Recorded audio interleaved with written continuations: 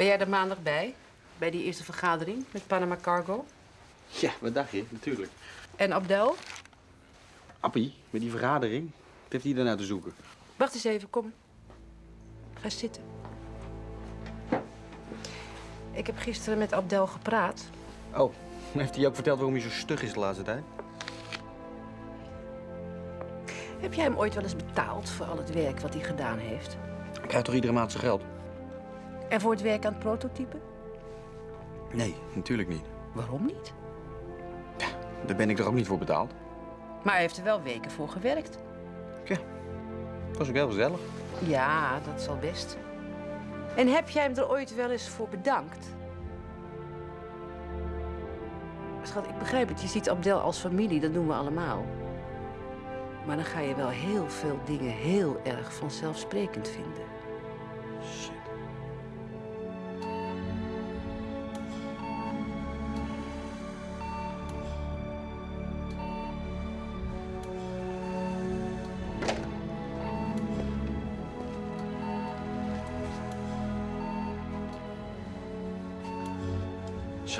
Hoe is het hier? Verbetering?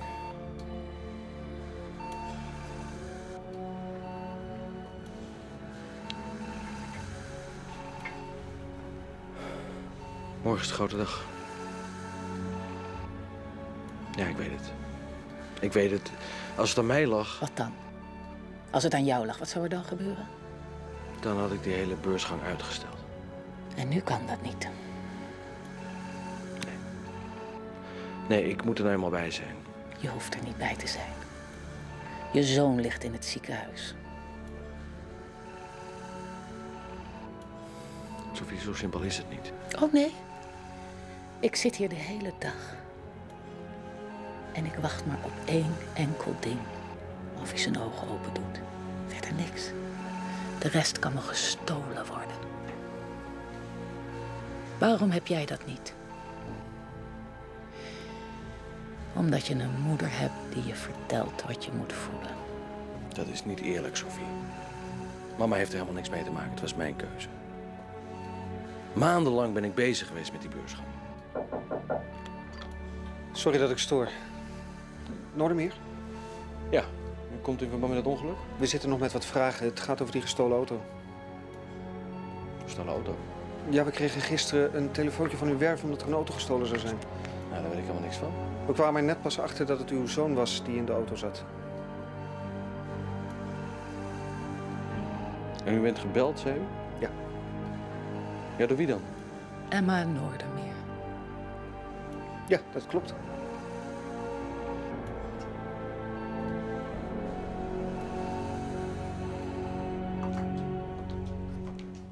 Jammer dat je er vanmiddag niet bij was.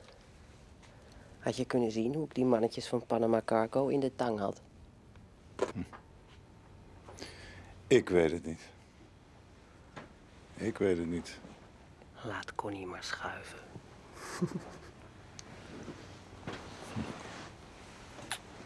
Zeg, hoeveel heb jij er eigenlijk op vandaag? Dit heeft helemaal niets met champagne te maken. Dit komt helemaal door het gesprek van vanmiddag. Wil je wel een beetje voorzichtig met me zijn? Geen uitvluchten, hè? Jij mag weer alles van de dokter. Je kunt wel merken wie hier de broek aan heeft tegenwoordig. Jij niet meer.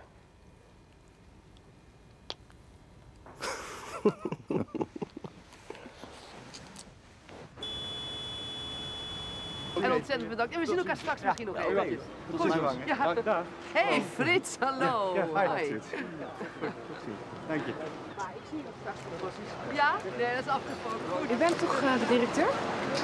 Eh, nee, niet meer. Mijn vrouw is nu directeur. Oh, sorry. Reuze bedankt, hè, voor alles. Zou ik jullie heel even een paar vraagjes mogen stellen voor de camera? Ja, natuurlijk. Nou, zo even zo. Ben je van de Vecht van TV Rijnmond? Connie de Graaf. Hi, je bent Hi, de Vecht van Marco. TV Rijnmond. We zijn hier op de scheepswerf van familie De Graaf, waar zometeen het schip Gloria te water wordt gelaten. Op de dag dat uw grote concurrent Noordermeer naar de beurs gaat, wordt uw eerste schip te water gelaten. Ik vroeg me af, zijn er eigenlijk wel genoeg opdrachten voor twee scheepswerven die zo vlak bij elkaar zitten? Ja, ik kan natuurlijk niet spreken voor Noordermeer, maar wij voeren op dit moment alweer besprekingen ten aanzien van nieuwe opdrachten. Ah, kunt u daar iets meer over vertellen?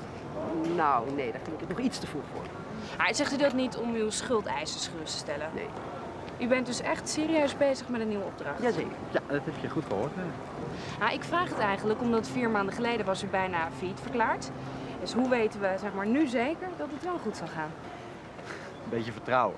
Net zoals bijvoorbeeld meneer Kofferman, Panama Cargo. Panama Cargo? Is dat soms een nieuwe opdrachtgever? nee, ik laat me niet verleiden tot uitspraken. Maar laat ik het zo zeggen, de voortekenen zijn goed. ah, oh, nou, in ieder geval bedankt voor het interview en heel veel eh, succes vandaag. Dank u. Bedankt. En daarom, dames en heren, en dat zeg ik iedere keer weer tegen elk bedrijf dat deze stap neemt. De gang naar de beurs is moeilijk. Het is gevaarlijk. Ik ben het er niet mee eens. Ik heb mijn verantwoordelijkheden als directeur. Luister, we vechten de beslissing van Panama Cargo nog aan. En zolang er niets definitief is, hoeft niemand iets te weten. Een weggevallen opdracht hoor je te melden. Mijn allerbeste wensen Max. voor Werf Noordermeer.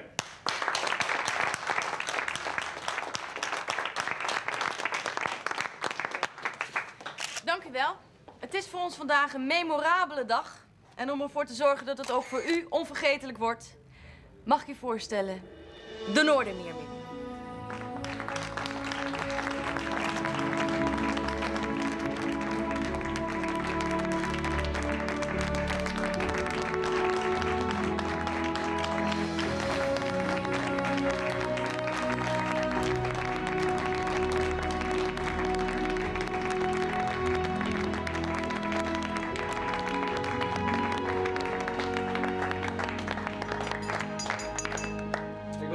Wat zeggen.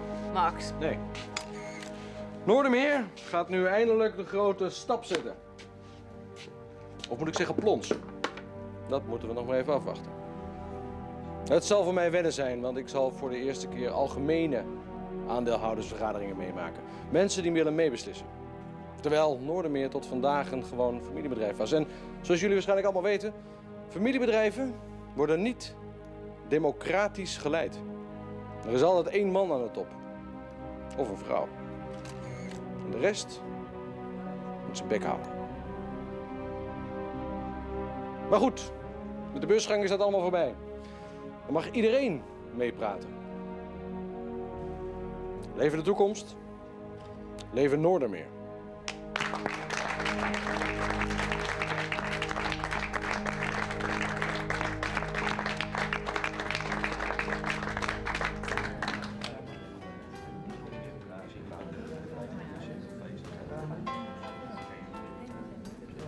Dames en heren, wij gaan zo dadelijk de eerste verkoper zien. Op dit moment staat uw aandeel genoteerd op een koers van 15,60 euro. De beursafkorting van Noordermeer is NRMR. En als u naar de monitoren kijkt, dan zult u de notering voorbij zien komen. Daar is hij. 15,45 euro. U zei toch 15,60? Ja, zo snel gaat het nou. Hij wordt op dit moment waarschijnlijk verhandeld voor een lagere koers. Ik denk dat particuliere beleggers onbezonnen hebben ingetekend. Hij is alweer gedaald. Ik heb al zoveel bedrijven naar de beurs geleid. En het is iedere keer weer een verrassing. Waarom zakt het aandeel? Tja, dat kan verschillende oorzaken hebben. Maar ik weet zeker dat het aandeel Noordermeer weer zal stijgen. Jullie hebben tenslotte een goed gevulde orderportefeuille. En vooral die deal met Panama Cargo, dat is een hele goede, sterke troef. De institutionele beleggers hebben absoluut vertrouwen.